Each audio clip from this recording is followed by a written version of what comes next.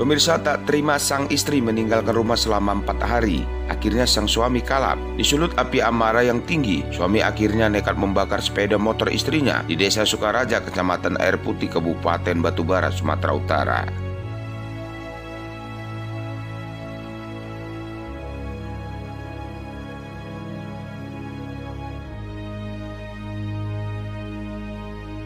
Mendengar adanya pertengkaran yang mengakibatkan terjadinya pembakaran, Polsek Indrapura langsung turun ke lokasi. Namun suami Fitri berinisial ALF sudah kabur.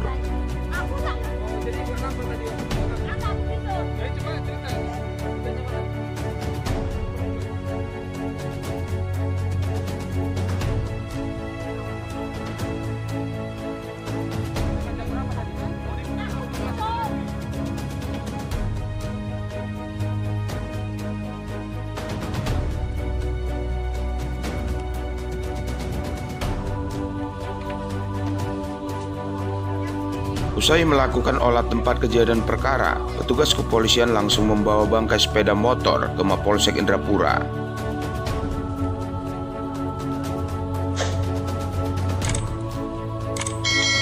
Menurut keterangan Fitri, suaminya setiap malam mabuk-mabukan tuak dan bahkan pernah memukulnya. Tak sanggup menahankan kelakuannya yang tidak berubah, akhirnya Fitri kabur dari rumahnya di Kampung Banjar, desa perkotaan Air Putih. Kak, itu ini kereta siapa dibakar? Kereta. Kenapa kak dibakar? Dia ini sama awak. Karena awak udah gak mau lagi, awak kan pergi dari rumah. Aha. Siapa yang bakar rupanya? Lalu suami saya, Udah berapa lama rumah tangga sama dia? sampai dua bulan, dua tahun. Dua tahun. Lah, Gara-garanya gimana? saya pergi dari rumah. Ah, terus? Dia tadi cari carinya, nggak balik carinya, dapatnya di sini. Ah. Terus kereta dibakar sama dia. Masa sebelum dia bakar dia ngomong apa? Nggak ada. Dia ngomong aku capek kerja nggak ada kereta kata dia gitu. Udah berapa hari gak pulang? Nggak ada matahari.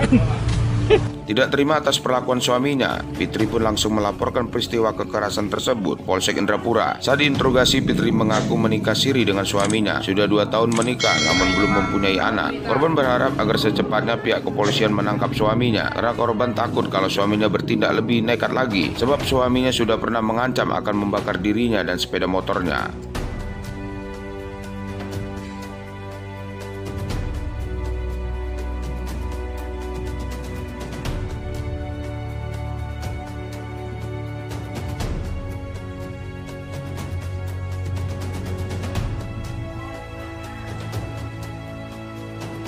Dari Batubara, Sumatera Utara, Soleh Pelka melaporkan.